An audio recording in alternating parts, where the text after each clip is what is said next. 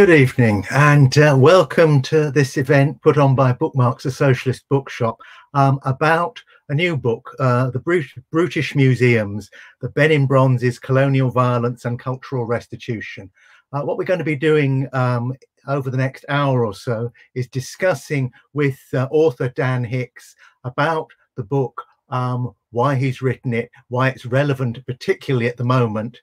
And then after that, uh, we shall be moving um, to speak to a number of activists who are um, have been active around issues connected with the with the issues that the book raises. Um, and in case you're unaware of it so far, I want to raise what the book's issues the book raises are, which are about museums. Um, museums which are often seen in um, a modern world as something uh, where artifacts are protected, are looked after, and are put in a historical context. Um, Dan has uh, some questions about some of uh, some of these issues, and they're questions which may seem interesting because he is himself uh, a museum curator at the Pitt Rivers uh, Museum in Oxford. Um, so we should look at exactly what's been happening. I think this is a particularly relevant discussion to be having this year. Uh, this year, when we've had Black Lives Matter um, and a whole discussion about exactly what uh, is happening with colonial history, because um, the great museums that exist in Britain, like the British Museum, would not be there without the experience of the British Empire. And this is something uh, which we are um, going to talk about. So I should just say before um, bringing um, in Dan that uh, the other um, speakers uh, tonight will be um, Onyekachi Wambu, um, who is somewhat uh, from the African Foundation for Development um, and is interested in movements around restitution for things that have been uh, taken from Africa and the return of icons and so on. So I should bring him in later to discuss uh, what's being done at, by activists around that. We have um, Diya Gupta, um, who is working with the Royal His Historical Society uh, to help decolonize um, their version of history. And I think that fits very much with what I've said is one of the big issues uh, that are going on today.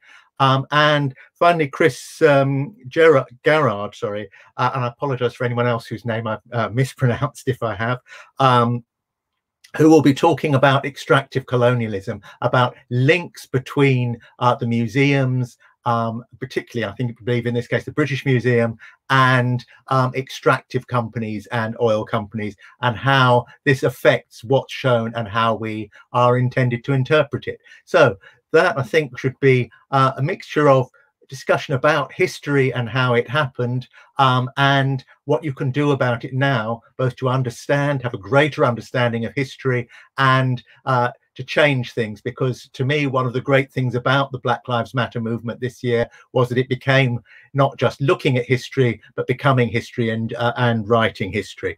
So uh, I'm going to start straight away by coming to trying to talk to um, Dan Hicks um, about his new book and about what um, it is that he has been um, has been looking at. Um, for people who um, don't know, the Benin bronzes, uh, which he uh, talks about, were artworks um, cast, as you may have guessed, in bronze um, in West Africa, and remarkably beautiful pieces uh, uh, of art, which created uh, something of a stir in the late 19th century um, and were brought to Britain arguably for their own protection. But I think that this is something uh, which Dan um, has been um, questioning. So, but I want to start, Dan, by um, asking about the idea of museums. Um, I suppose if you're going to criticize uh, museums and uh, a lot of what they're doing, which seems to be the purpose of a lot of the book, how does this gel with yourself being a museum curator? Do you see museums as having a value? Sure. Okay. Thank you, Ken. And it's uh, really nice to be here and in this conversation. Um, and so, yeah, I've been curator at the Pitt Rivers Museum in Oxford, which is a part of the University of Oxford it's a museum of archaeology and anthropology, yeah, I've been curator here for a little over 13 years. Um, and over that time, you know, obviously as uh, as someone you know, looking after what's called world archaeology, uh, which includes every you know country in the world and objects that were taken from a you know a whole host of different contexts. Uh, you know, a big part of my job has been to understand the value of those objects. You go to the people you, uh, today, understand their histories, uh, you know, understand their meanings. You know, now while as a curator, a big part of my job, obviously, also is to try to keep some things the same. You know, the idea of a museum is that you make sure that the that the moths don't eat the, you know, the fabrics and the iron objects don't rust away and so on.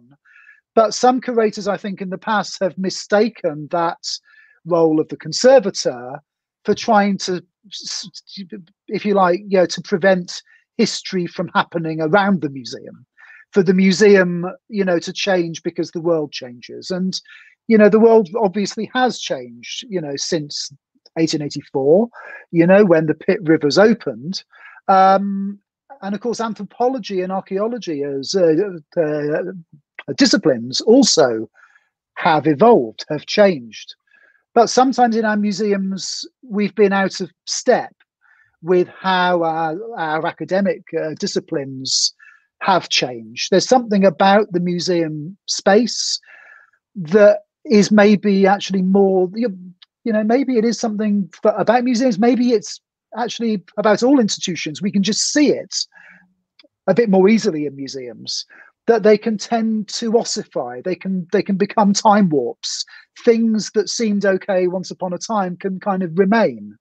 So while anthropology ever since you know the 60s and 70s under you know, was a part of uh, an ongoing process of having to rethink itself as part of the civil rights movement uh, actually our museums haven't haven't kept in sort of pace and really that that I think is most visible when it comes to objects on display that were taken with violence, where that violent history of you know looting, you know, where the racial stories that were told in the 1890s at the height of anthropology's relationship with you know fake race science, with certain aspects of you know white supremacy, they're things that when they do persist i mean some of what persists is great. That what that's what makes a museum. Some of these things are like a cancer that we mm-hmm. have to see the way in which they persist they continue you know to hurt people in the present. So that i think you know i hope that answers your initial question about you know why on earth is a curator saying that a museum you know ought to change? I would though just say that actually in the, you know you know, really in any other line of work to say, you know, that you want to improve, that you want to do things better, that you mm-hmm. want to make your field fit for the 21st century, you know, would not be controversial. And so I, I am always surprised by the idea that some people in this conversation finds that anti-racism in a museum sector is in some ways, you know, not essentially what we should be doing, you know. Yeah. Mm-hmm. Uh, so, just following on from that, I suppose the um, there are two other things. Firstly, uh, museums, as we know them, a lot of the big museums were products of the 19th century, products of that sort of ex- expansion, and therefore often went along with attitudes of the time when they were created. I suppose an othering of people from other parts of the world, particularly, and also um, well, you've already mentioned race, a racist looking down on people, which is related to, for instance, the display of body parts and so on from uh, captured or conquered peoples. Now, I assume this is the sort of thing that you're precisely saying needs to be reassessed. But I wonder if there's any comments about, I think about museums because of when they first emerged. Does the very idea of what a museum is have to change? So I think ideas of what a museum is have, have, have, always changed. They're always mm-hmm. continuing to change. There's always innovation in any part of the cultural sector. And actually, when the Anthropology Museum or the Ethnological Museum, as they were called in the 1880s, 1890s, was being thought up on a you know with a very specific here at the Pitt Rivers, very specific you know, agenda for something called the evolution of culture, an, an, an ideology that said that if we look at, you know, material objects, we can see them evolve in the same way as the natural world evolves. And of course, that idea, which was based in the, the writing of our founder, Augustus Henry Lane Fox Pitt Rivers, himself a soldier, himself someone that came up with that theory based on his own work to improve the rifle as it was used by the British Army. You know, you know that idea of you know, cultural evolution was obviously, you know, put to work for the purposes of you know, white supremacy. Now, you know, in 1946, after we um, yeah, beat the fascists, in the Natural History Museum here in Oxford, which is a part of the same building of the Pitt Rivers. I mean, you know, you, know, you have to imagine the Pitt Rivers was built as a sort of physical extension of the Natural History Museum, founded in 1860, you know, 24 years later in 1884. And that extension was built almost to enact that intellectual move of saying, you know, we can move from nature to culture in this evolutionary frame. But in the Natural History Museum, exactly like in, you know, natural history anthropology museums around the world, there were those displays of skulls that to- that told of of you know the victims of you know violence across empire that were there to tell the racist lie that there were different kinds of human and in 1946, you know, actually those dis- those uh, displays were removed uh, mm-hmm. with with no sense of controversy, with no sense of anything other than, you know, actually this is scientists who don't want to show bad science. You know, this is just fake. Um, however, at that time, even though we in the cultural end of things like to think maybe we're more attentive, you know, to questions of inequality, of race, of you know empire we didn't touch the displays right next door that told the same story with objects of art objects of culture. So a big part of the argument of the uh, um, yeah the book you know is that art in this instance you know who who knew art would be important for world history? Who knew that looting wasn't just some sideshow some side effect of empire you know something that's always happened in any conflict that actually you know you know it was a central it at this time it was actually a central technique of how the museum was put to work by a sort of a proto-fascist you know way of thinking a racial mm. ideology which has no place in the modern world you know today. So that's the legacies that we're trying to uh, that we're trying to uh, deal with. now Okay, I'd like to um, just, I think, bring in one more question um, really for you, and then try and bring in some of the other people as well, um, because the, the, the I want to bring in the issue of specifically the Benin bronzes. Um, and why the British government, uh, British authorities, would say, uh, felt the need, well, to how they justified conquering Edo, how they um, justified taking away these artifacts. Um, and this might be something other people might want to think about coming in as well. Um, culturally, there's a significance to the Benin bronzes in particular, which sometimes goes is slightly separate from other bits of art. But um, I don't want to just get into a long conversation about this. But how did that kind of colonial expansion get justified in the first place? I'll start with Dan, and then we'll open up and then we'll move on to a discussion about cultural restitution, which is, you know, where we're moving on to. Thank you. Absolutely. Thanks. Yeah. So the book outlines really the, you know, the way in which the kind of the house of cards that has been built up over the years of the stories that have sought, you know, you know, to account for the taking of the Benin bronzes, uh, how each part of the narrative we've been told that there was a sort of grim justification for the taking of the loot because it was sold off to pay for the cost of the expedition, that the expedition itself was a necessary punishment for a wrongdoing, you know, by the king of uh, Benin. All these, you know, that the objects were safer in the West than they were where they've been you know, looked after for, in some cases, over 500 years in you know, what is now Nigeria each of those arguments really falls apart after you look at it. The expedition was long planned, it was part of a long set of techniques of of your corporate colonialism, extractive colonialism, wanting to build the, you know, the rubber industry and the palm oil industry, uh, you know, in this area up and down the Niger River, they were constantly, you know, removing, you know, regimes and chiefs and kings, you know, over the years. And the naval operations, sheer violence was is obviously documented, but also the taking of those artworks was from an African perspective about the removal of a traditional religion, about the desecration of a royal and sacred landscape, as well as only about the removal of a sovereign. At the same time, the sheer free for all, the chaotic nature of each of these soldiers simply enriching themselves by loading up what they could and taking it back. Some of these objects find their way on the open market within weeks and are in the British Museum in Oxford, in Berlin you know, whereas others are kept by families and then enter the market over years. So, you know, it's a chaotic mess. It was simply, you know, corporate violence at an extreme level with the Maxim machine guns firing, with the rocket launchers, you know, electric lighting, barbed wire, you know, mountain guns. This was like a, and indeed, your dum dum bullets, one of the first uses, you know, I argue, of the dum dum bullet. So this is a foreshadowing of all the horror of the 20th, of, of, of, of, the, you, know, that we, you know, that we would see in the 20th century, you know, a late 19th century foreshadowing where these sort of ultra modern violent sort of, you know, approaches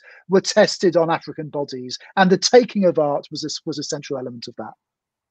Thank you. And just a reminder to people who are watching that all of these arguments will be available in much greater depth in the book, which I would recommend uh, that people buy um, because you will be able to follow arguments and discussions uh, in greater depth than we can manage in this time.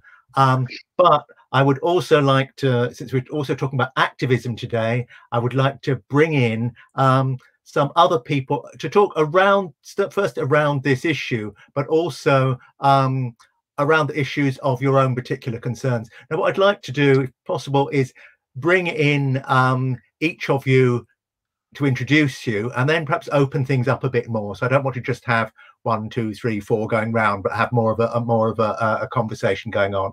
Um, but um, Onyekachi, I hope I'm pronouncing that right. Um, I'd like to ask you uh, specifically because the um, area that you're dealing with in terms of uh, talking about restitution and the return of icons, um, in some ways speaks directly to what we've just been talking about to do with the Benin bronzes and so on. Um, how you respond to the idea about the way that museums work and how they have taken um, various artifacts uh, with various justifications from Africa. Oh, sorry, uh, you're muted at the moment. Uh, whoever's in control of the muting, can you oh, unmute? I would be, thank you. I was told I would be unmuted. Thank, you, thanks very much, and um, and uh, and thanks Dan for a wonderful book. And I think the book, in a sense, answers the questions that you're asking because at the heart of um, what is go the you know the museums were part of that empire project um, and Dan in the book makes the links uh, not just the empire project it was part of the slavery and colonization project um, you know the money that Pitts and others used to fund um, their later adventures elsewhere were you know sometimes directly related from the compensation they got from slave plantations in the Caribbean so mm -hmm. it, it's a story of slavery, colonization, and empire. And um, the project that um, I've been involved in this since around 1994, and the, and the date is is you know formally I've been thinking about these issues for a long time, but formally in terms of the activism, around 93, 94, when Bernie Grant started an African uh, reparations movement to return um, these objects, we in fact um, demonstrated outside the British Museum in those days, and everybody laughed. But in 1994, 95, I started a, a, an organization called African Remembrance Day to remember the victims of this period, because you know a lot happened and and you know millions died, um, and nobody has been doing anything to actually remember what what happened um, and everything else. Fast forward to um, earlier this year, we started a, a, project called Return of the Icons. And what we're trying to do with the project is, as the icons say, we, we are interested in returning ideas, we're interested in returning aesthetics, and iconic individuals, because as well as the artifacts, there are lots of human remains in these um, uh, collections as well. And, uh, and why do we want to do that? There were two um, events recently that in the same week that were very, very powerful and actually demonstrate why, why this is important. Um, the Barbados government, as part of its own decolonization process and trying to launch itself as a republic, decided to remove Nelson's statue, which stands in the middle of a massive square in Barbados. And that Nelson statue in, in Bridgetown, Barbados, is actually older than the Nelson statue in Trafalgar Square. And when it was being taken away, it was filmed, the Prime Minister came out, and it was a very solemn um, event and ceremony. Um, white robed um, individuals on, on uh, stilts walked alongside what looked like a coffin of Nelson lying on his back. And it was like what we were seeing was the burial of a symbol and also an idea being kind of taken away. And in the same week, uh, the French returned the crown um, the, of the last queen of Madagascar. And again, the crown was returned from France, um, met at the airport. The whole of Madagascar seemed to turn out, Prime uh, President, everybody. And then the uh, the crown is taken in, in a carriage through the streets of the capital city, and everybody comes out to witness this. And what we're seeing is that it's almost as if history that had been frozen uh, and over the period of this colonization was being reborn. And then, as I said, across the Atlantic, which was part of this same massive story, you have Nelson being removed and, and buried. And so there's a moment, and, and Dan very wonderfully in his book talked about this moment using Achille Mbembe's concept of, an, of a negative moment uh, when new antagonisms emerge and old ones remain unresolved. And 94 is really important in terms of understanding what this moment, this negative moment is that we're going through. And, um, we, you know, because something big happens in 94, which is a, a period of codified African inferiority and uh, white supremacy and the codification of white supremacy ends um, with um, you know, the changes in South Africa. And what we are all doing now is looking back at that period and, and what happened from slavery, colonization, and empire. Uh, and, we've started at uh, discussing this, and Dan's book, I think, very wonderfully comes at this from different perspectives. And we're discussing them as kind of uh, what we're saying is the kind of reclamation of three R's, which is recognition of what happened. And we can see in the fight for Black history in the curricula that nobody even wants to acknowledge what's happened. Then we're talking about remembrance, which is, as I said, what we try to do in terms of remembering the victims. And then there's restoration uh, uh, of culture and ideas. There's restitution that we're now talking about, returning the artifacts and human remains. There's reparations, and that campaign is ongoing. There's reconnection between the severed African world, um, because a, a massive uh, wound was done to the African world. And then there's return, which people like the Rastas and others have been trying to do, physical return, and then reimagination, reconstruction, uh, and we hope finally kind of renaissance. Um, so what we, for us, this struggle and, and, and Dan's book is a wonderful, wonderful, massive weapon in allowing us to engage in this multiple fronted struggle of these 10 R's um, is going to grow and it's going to keep growing because, um, you know, as Achille says, we are in that negative moment. The collision has happened, and all of us, I'm really glad that Dan started this with excavating and dissecting this from his own workplace. All of us are going to have to undertake that work in our own workplace as well. Okay, thank you. Um, just to say, uh, firstly, um, I believe you're referring to uh, Achille Mbembe's book, uh, Necropolitics, yes. which would be uh, recommended um, as well when people are looking at books. But what you've just been saying, I think, leads very neatly into uh, Diya Gupta's area of talking about history. So I hope I hope we can br uh, bring you back in later on to talk about practical things that people can do. But for now, I'd like to ask uh, Diya to talk about uh, precisely this area of how you decide what is history and what historians uh, should discuss, and indeed how you decolonize. Um, well, I shall leave it to you to, to say that. Mm -hmm. Well, thank you so much for um, having me here. It's an absolute pleasure to be talking about uh, Dan's book. Um, just for, for everybody who doesn't know me, I am past and present fellow, uh, race, ethnicity, and equality at the Royal Historical Society. And one of my biggest roles at the Royal Historical Society is to look at race and equality initiatives across the discipline of history. And precisely as, as Dan was saying before, we've got to make sure that history is suitable for a 21st century um, audience and uh, as a discipline that it's invigorated and refreshed with, with fresh perspectives. And, and sort of my post came about uh, quite strangely because of this initiative that the Royal Historical Society had taken in 2018, where it, where it did this massive survey of the state of the field in history. And this was the, the then published race report. And actually, what the race report found was rather shocking. It found that history was the fifth least diverse discipline in the country. And it found that from GCSE and A levels, for Black and minority ethnic students to get onto the undergraduate level of studying history was hard enough. But then the, the further you kind of went along the academic pathway, it just got harder and harder. And I've got some stats for you here. So at the undergrad level, Black and other minority ethnic students make up in history only 11% of the cohort. If you go on to postgraduate levels of study, Black and minority ethnic students make up only 8.6% of the cohort.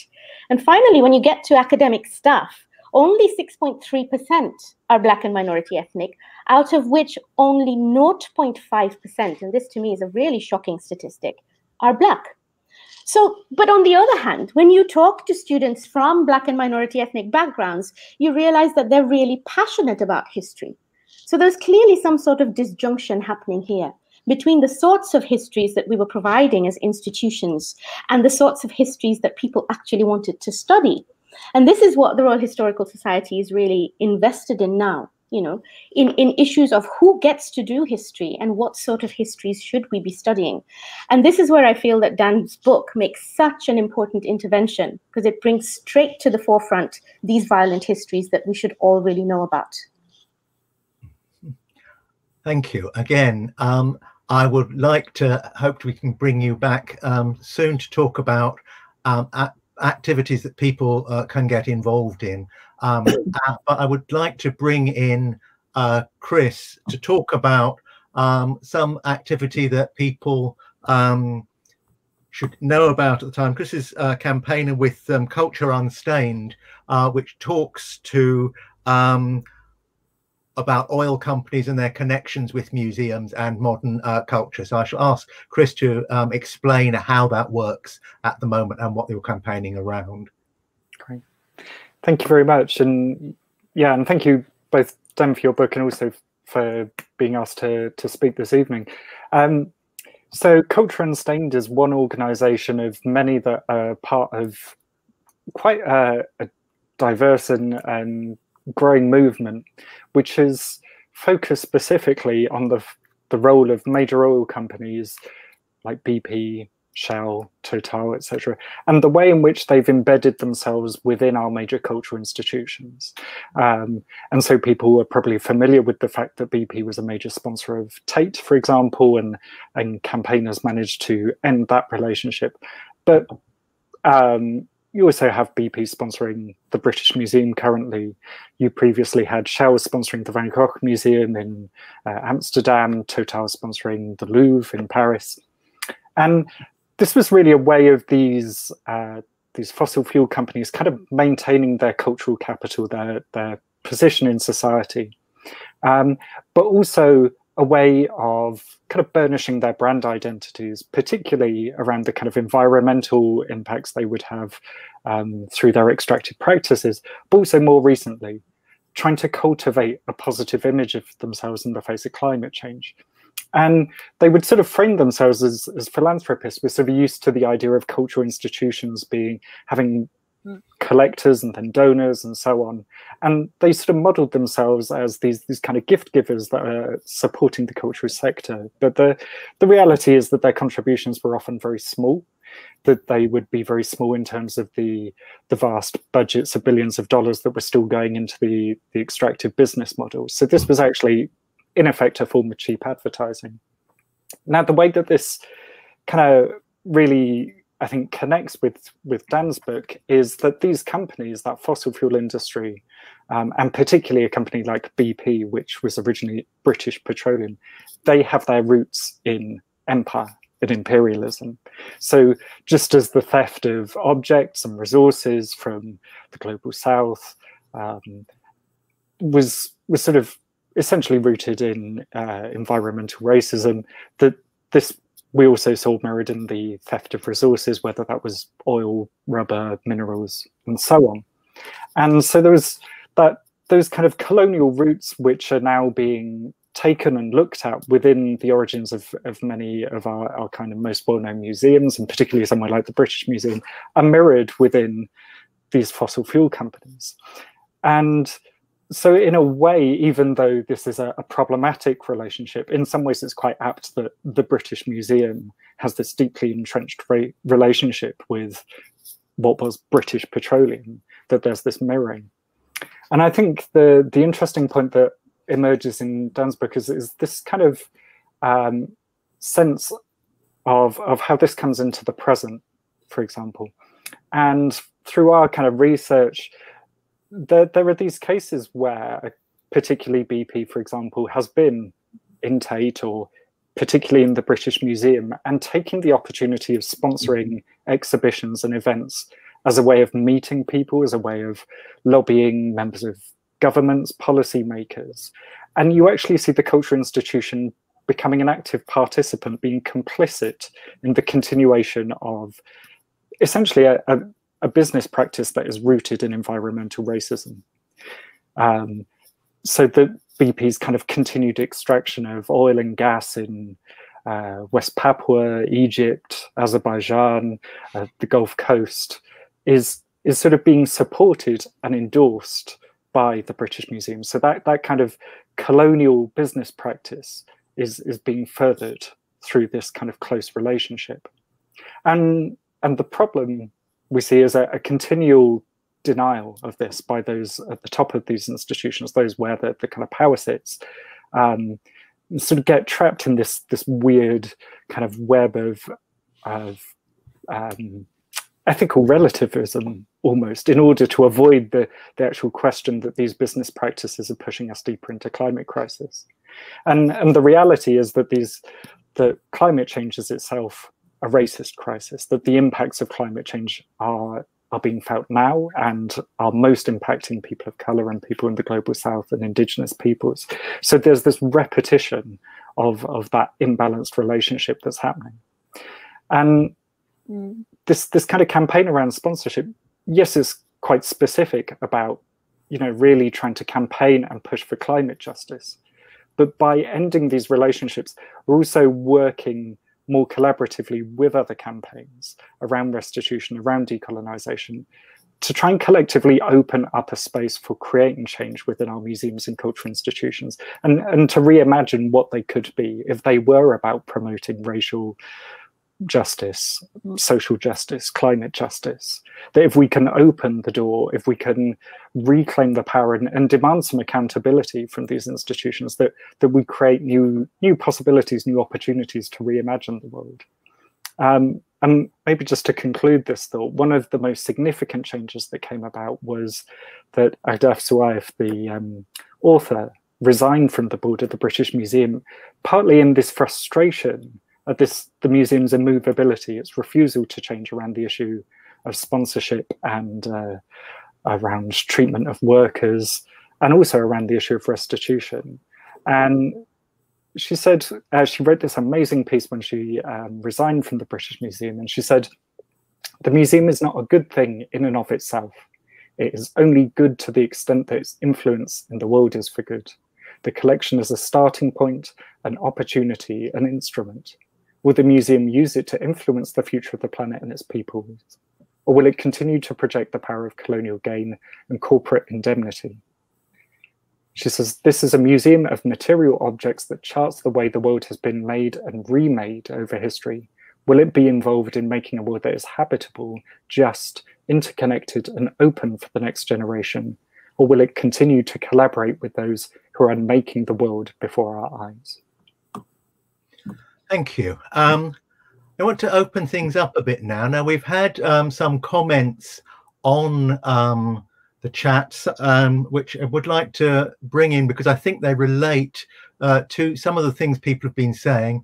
Uh, so, for instance, we've had a, a, question on Twitter that says that um, Dan talked about the destruction of Benin City, and could say something slightly more ab about that? Now, what I'd like to do is connect this to another comment that has been made um, in the comments and not necessarily just open it up to Dan, but to anyone who wants to come in about what the why and what when the, de- the, destruction of Benin happened, but also Martin has commented.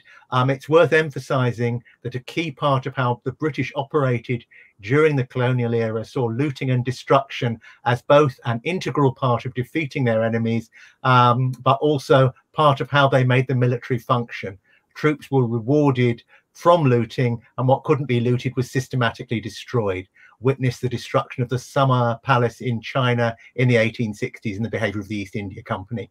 Um, something described in William Dalrymple's recent book. So that's um, quite a comprehensive comment there, but I hope that uh, in terms of either what happened in, in Africa or just the level of destruction. And I'd like to uh, leave it open because uh, what Chris has just been talking about, about modern destruction, uh, I think you could link into uh, some of Shell's relationship to the um, Ogoni people, to the killing it's a while ago now, but of Ken Saro-Wiwa and so on. So I see a, a, continuous movement through here. So I'm not particularly looking at any one person, but so if people want to come in uh, on this, obviously it's Dan's book, so if he wants to come in, but obviously what this subject relates to pretty much everyone who's on the panel. So um, who wants to come in? If no one looks particularly, I'm going to pick on Dan and say, "Do you want to come in?" okay. And anyone else who wants to come in, wave, and we'll try and bring you in immediately afterwards.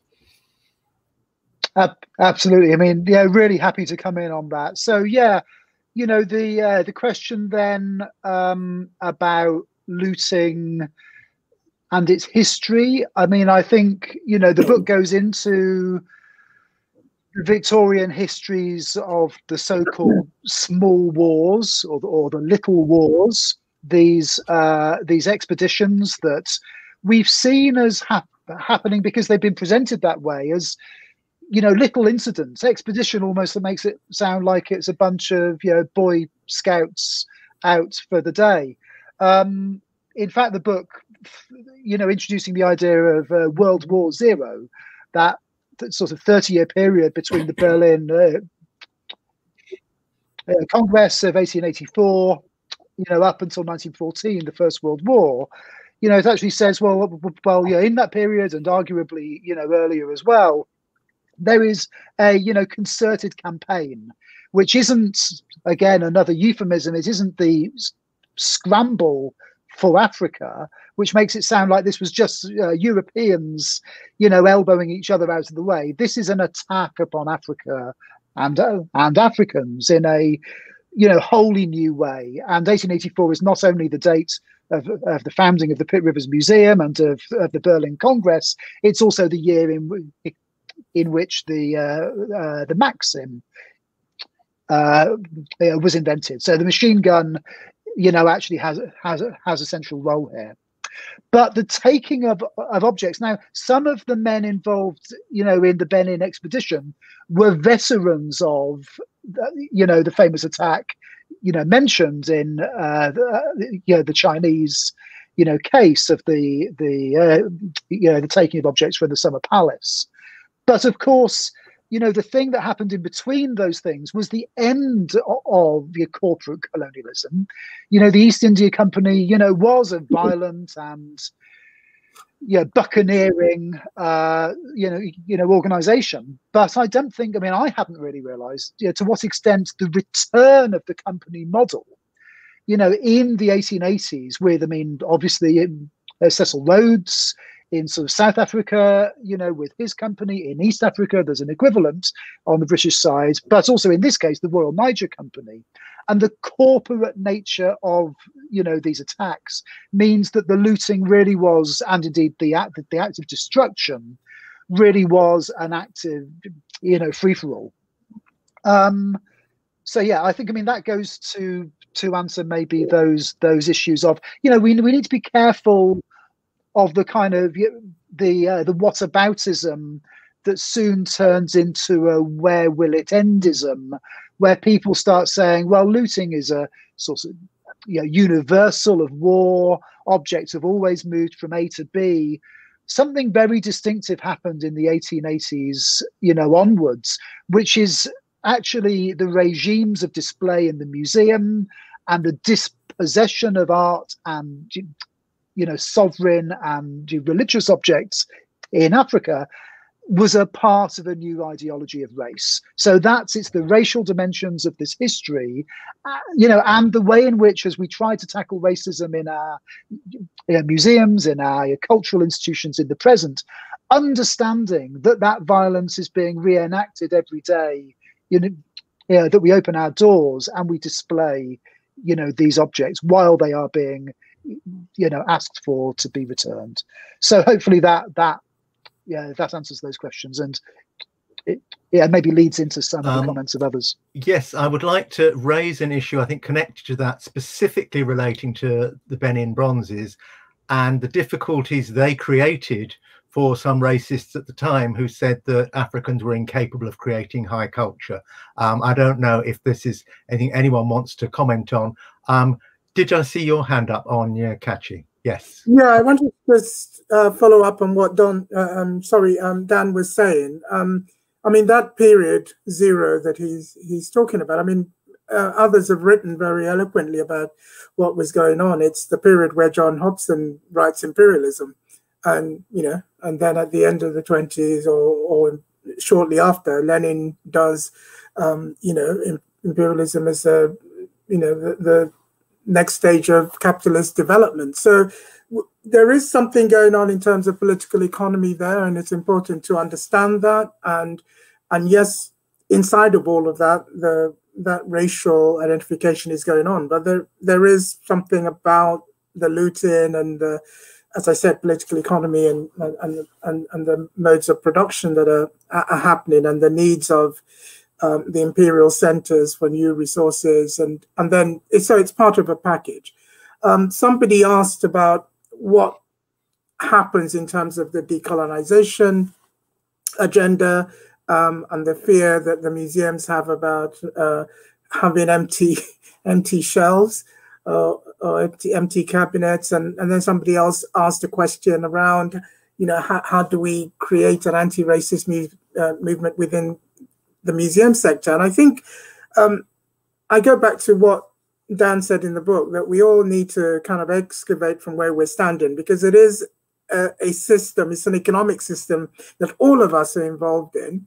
And we need to look at the alliances that uh, people made uh, at the beginning of the you know 20th century when you know the workers themselves began to understand what was at the heart of that system and the alliances they created um, to, to try and improve conditions for themselves, to try and create um, international movements that would address it from multiple perspectives.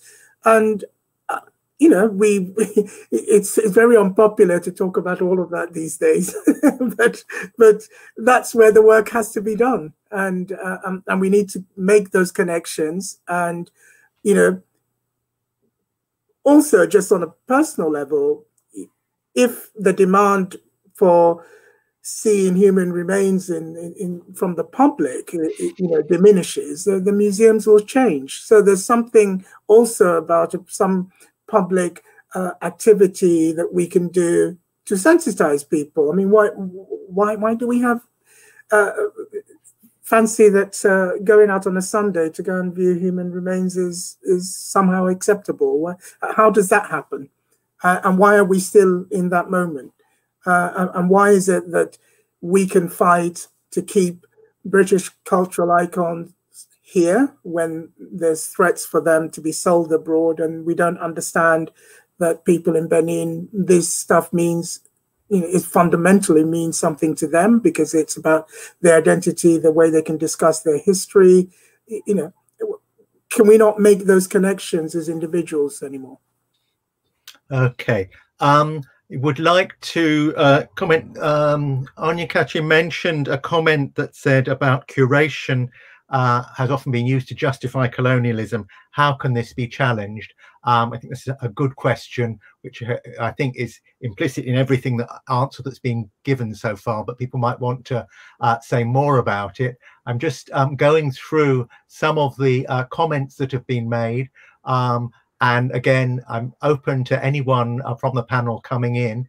Um, Shirley, who uh, studied social anthropology at Pitts Rivers Museum, um, and in the 1970s taught in Nigeria, talks about uh, the very radical head of the secondary school where I worked, uh, Tai Solarin, uh, got the kids to play only local music to celebrate local customs, eat local food in an anti-Western, anti-colonial mood.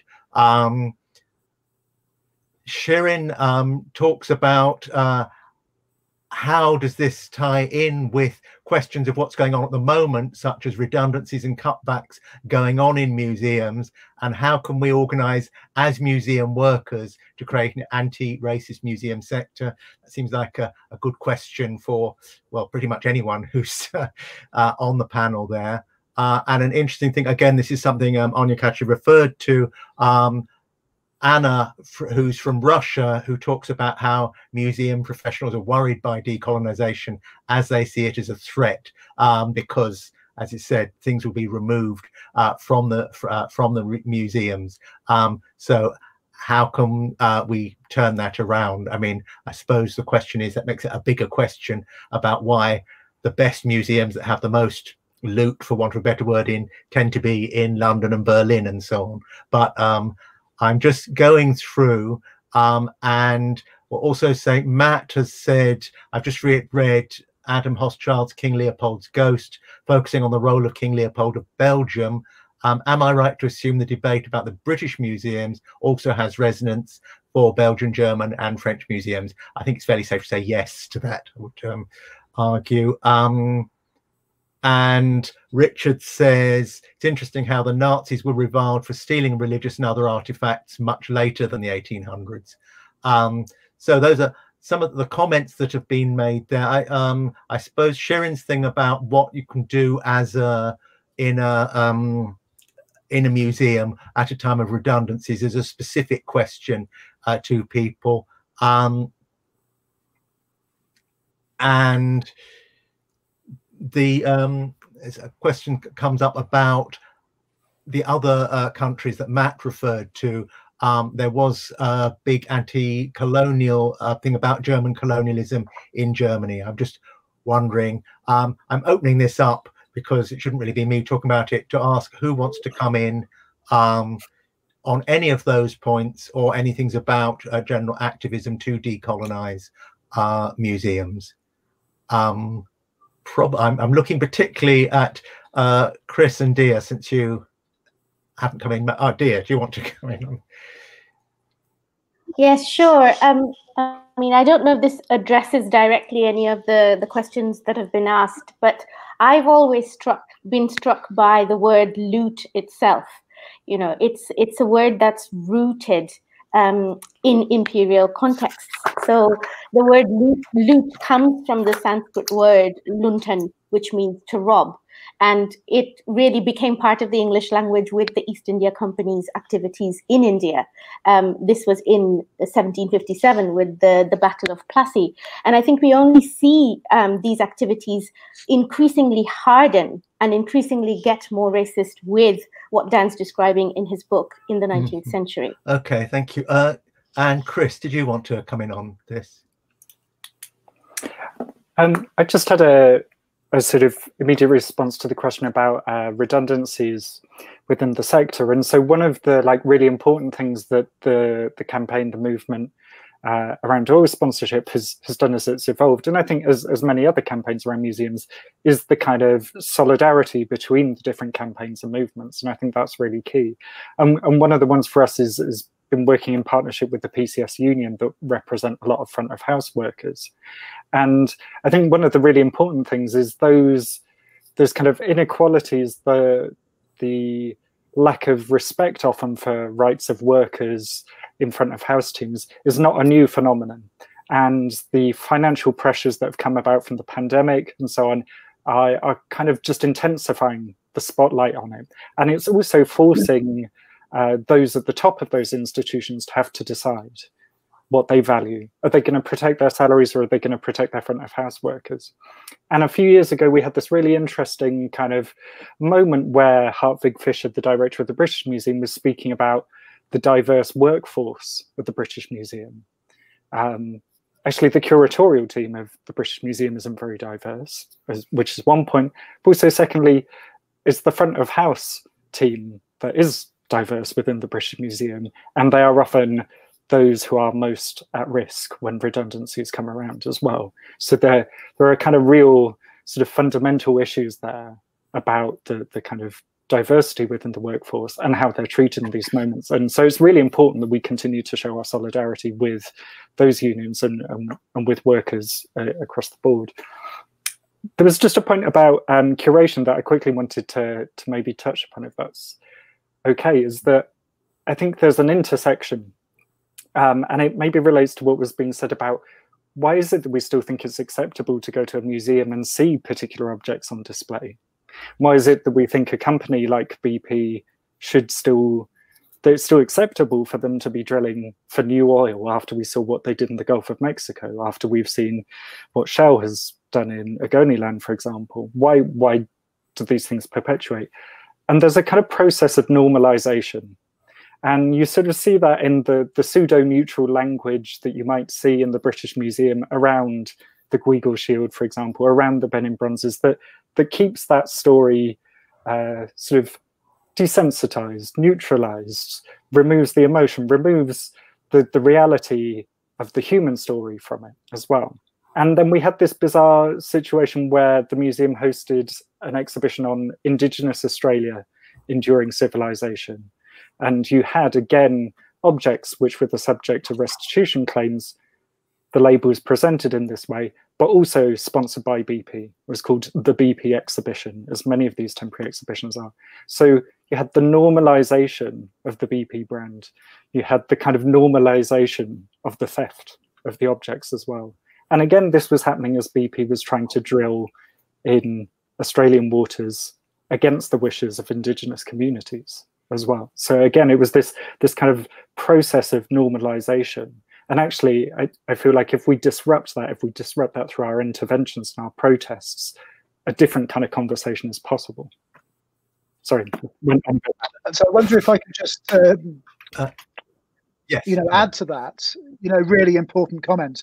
So the book links up because it may be that people listening to this aren't entirely seeing the connections in between the BP extractivist colonialism in the present and the arguments about the taking of, um, you know, artwork in the past. But the book talks really about the link is that extractivism in its corporate colonial form was an attack upon environments as well as upon, you know, people.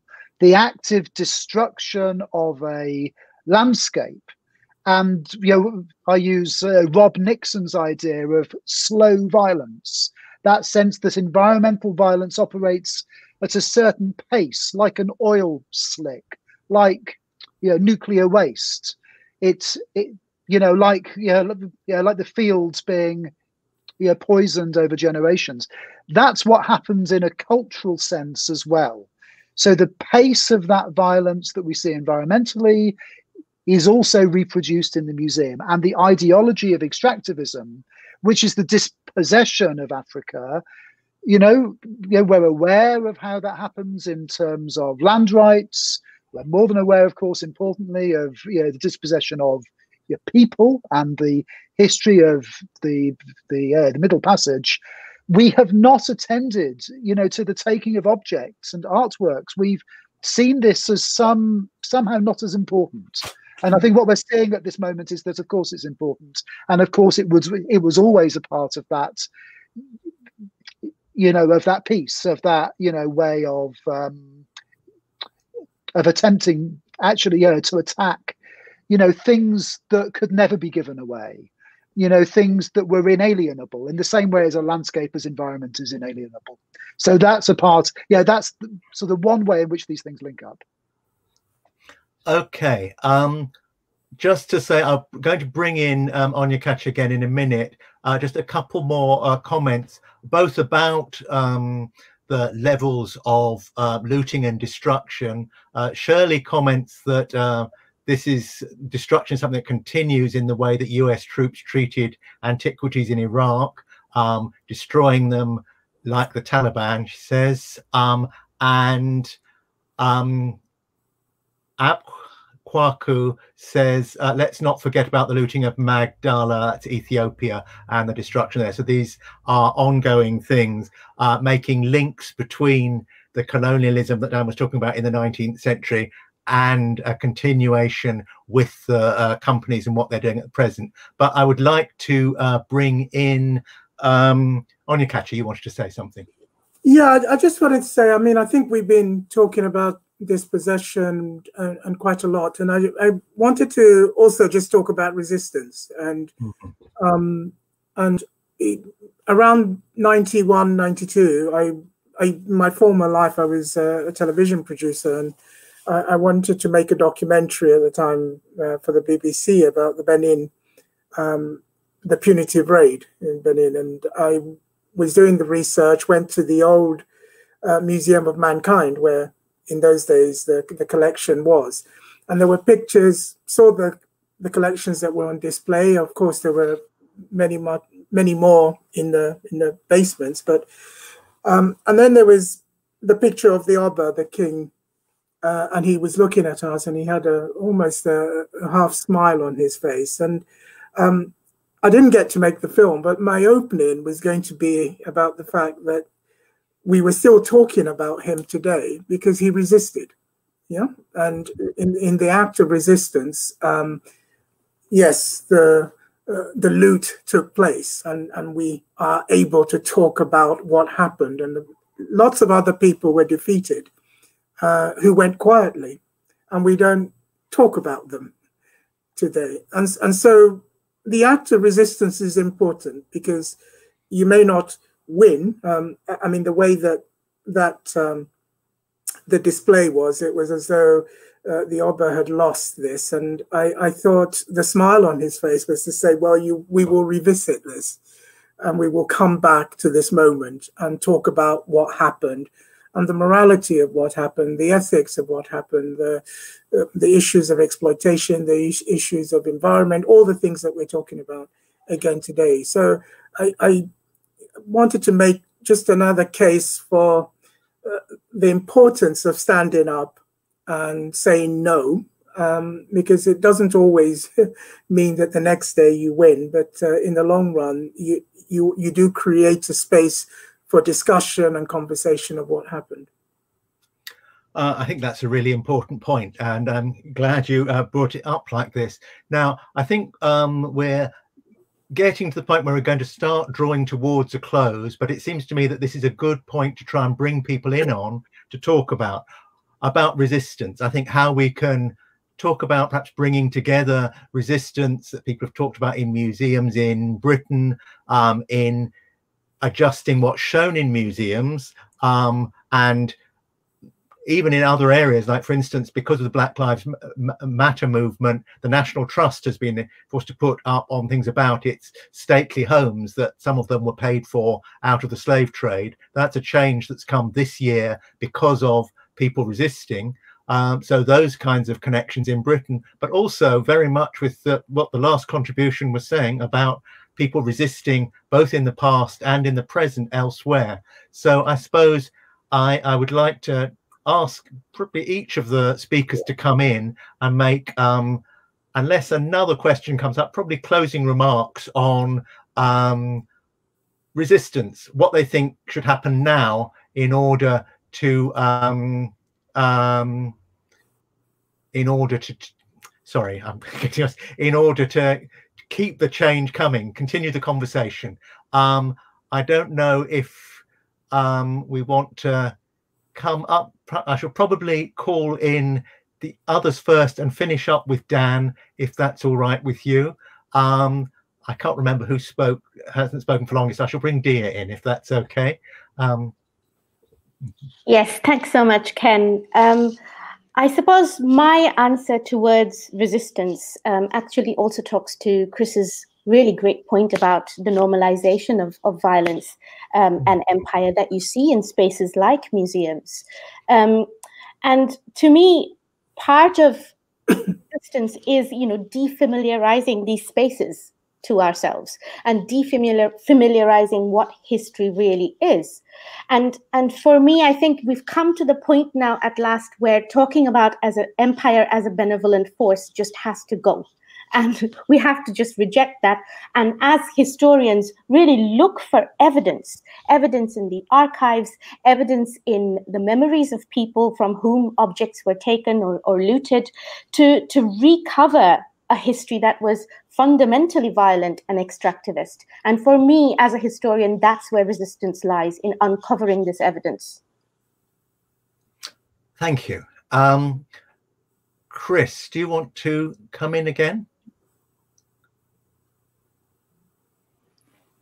Yeah, just um, I think very sort of briefly to say, I think the the power of resistance. Is a lot of our movements, particularly in the UK, have, are often very dominated by particular groups, and um, what are often the, the movements that really catalyze change and that win is where they are intersectional, where you see coalitions and alliances between different struggles. And back in February, there was this this mass protest at the British Museum, and one of the main focuses was BP sponsorship.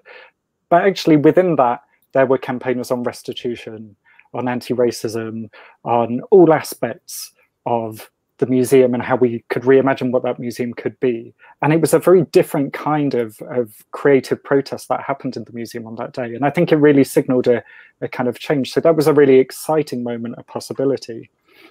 And next year, we're actually coming up to a moment when the British Museum is going to decide whether to renew its partnership with BP. So it's a really significant moment to ramp that up again. But, but like I say, I think the mistake would be if it was just a small group of climate activists. It's actually bringing all of these different groups together and saying, how can we work together to actually kind of build a movement that's going to deliver the changes we want?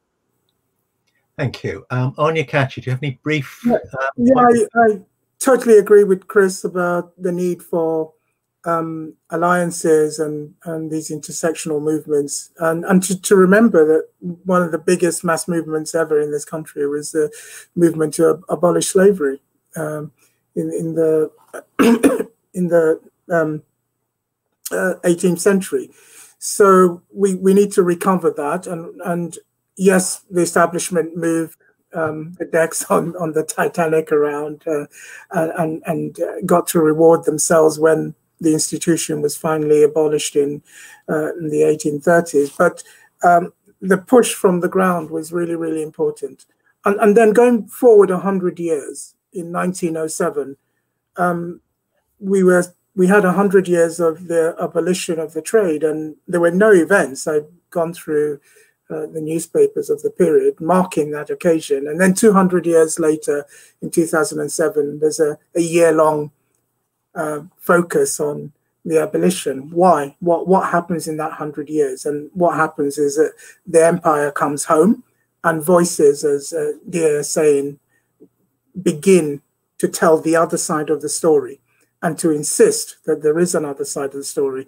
So the curriculum is um, activism around the curriculum is really important so that this Atlantic space that was co-created by the enslaved, by Africans, some enslaved, others not, and their resources by Europeans and also by Native Americans can be described in its richness rather than it, it being simply a creation of European dominance and supremacy. Thank you. Um, just before I call um, Dan in for uh, give his concluding remarks, uh, I would like to remind people why we're here, which is to um, talk about the launch of this book, um, by Dan Hicks, The Brutish Museums, The Benin Bronzes, Colonial Violence and Cultural Restitution, uh, which you can get um, from Bookmarks Bookshop, among other places, um, but you can get it from the Bookmarks uh, website. Uh, this meeting, the interesting discussion on various aspects of resistance, um, if you didn't manage to catch all of it, um, it has been being recorded. You will be able to watch the recording online on various platforms. It'll be uh, essentially on YouTube. I believe you'll be able to watch it on Twitter or Facebook as well. Um, so it's not the end. So I hope people will follow up on the things that have come here um, and will um, want to watch it or watch it again. Um, but I will ask Dan to come in uh, to sum up the discussion and, um, well, to make his concluding remarks. Thanks, Dan. Okay, you. I have to power, you know, great um, to. Um, I'm sorry to interrupt. I don't know if this is just me, but I can't really hear you. Yeah. Your voice is suddenly gone. Um, can you try speaking again? Uh, you're a bit wobbly. I don't know what's changed. You were very clear before. And it might be my. Um, How is it, that? Ah, yes. Yep. Yeah. Okay, okay thanks, Ken. Um, so, okay, and so as I was saying, um, uh, a really wonderful panel. You know, loads I could say about what everyone has said. You know, I just want to go to Onyekachi's uh, 10 R's, you know, which I really like. And, you know, maybe add some more R's to your 10. So we have, you know, recognition and uh, restoration, you know, reparations. You know, I want to add, obviously, you know, reading is important. That's a part of what we can do next. Um, and you know, I think actually writing is is is obviously important as well. But I also want to say the third of my R's would be arithmetic. So one thing it does is it um, actually lists, you know, where these objects are. It's incredible how we don't know, you know, where African objects are in the UK you know, the uh, the Sarr-Savoy report underlined that 95% of, of Africa's heritage is is outside of the continent.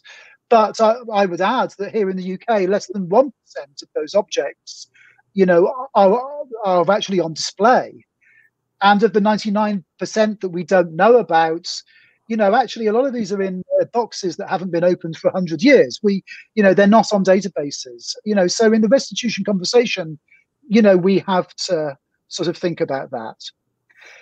You know, importantly, the message of the book is we have to, while all of these these other activities are so crucial, you know, in the museum, you know, diversifying ourselves, you know, positive action, you know, absolutely, you know, thinking about the sites of the museums as sort of sites of conscience.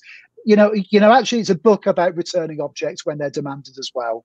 So let's not lose sight of this. This is about, you know, actually returning objects, uh, yeah, when they're asked for. So how can we do that? Well, you know, you know, one thing the book argues is we need actually to you provincialize and to decenter our national institutions. Uh, you know, I think a lot of people would say or would imagine, you know, that all of the Benin objects are in the British Museum. But in reality, only 8% or so of, of uh, yeah, what was taken, you know, is there. And, and, and across, as the book says, you know, across over 150 institutions around the world, you know that is where these objects are and each of those institutions is able to make their own returns so here in the uk you know you're never more than 150 miles away from from a looted african object. And essentially i mean what i want to do is to see you know conversations happening in different ways in different you know locations across the country. When african objects are in leeds are in oxford are in uh, belfast are in edinburgh are in exeter you know cambridge birmingham bristol you know let's have a conversation happening at grassroots level in each of those locations. Fundamentally as well we need to remember the relationship of you know these objects and their taking with ongoing structures of institutional racism. Uh, you know and importantly you know the relationship really you know with you know with anti-black violence so this is exactly as you know with with the conversation over environmental you know justice. This is about uh, justice in the present. This you know is about understanding the relationships in between the incarceration of objects and you know the narratives that we tell you know about race in the present. So yeah yeah fundamentally uh you know the book says that time's up and that we need to work all of us you know actually you know to work for the restitution you know of the benin objects but also to widen that conversation out so we can look across the continent of africa you know, as a as a museum worker, my job on the one side is to excavate and to share the knowledge of uh, what is in these, you know, institutions, and at the same time to amplify, you know, to listen to and to act upon, your know, demands as and when they are made from Africa. So hopefully that's something that everyone listening to this is able to, you know, join in with. Um, okay. Um, thank you. I'd just um, well like to. I've got got, got a request from Diya first to say uh, thanks to um, who was it to uh, Aelk for your comments. Um, but after that, I would like to say thank you to all our panelists. I think it's been a fascinating discussion. Um, I hope that people will order the book. I hope that people will look um, at the um, at the bookmarks website and see many of the other books that we've discussed are also available um, and we'll return to other discussions like this which bookmarks holds and we'll follow up the various campaigns that have been talked here about here tonight because uh, this is a meeting about activism um, and we'll tell your friends that you can watch this um, discussion online on the various um, areas that I've places that I've talked about. So thanks for coming to the meeting. Thanks again to all the panelists. That's Dan Hicks, Diya Gupta, Onyekachi Wambu, and Chris Garrard. Um, and thanks to everyone who came. And good night to all of you. So have a good time. Thanks to Ken. Thank you.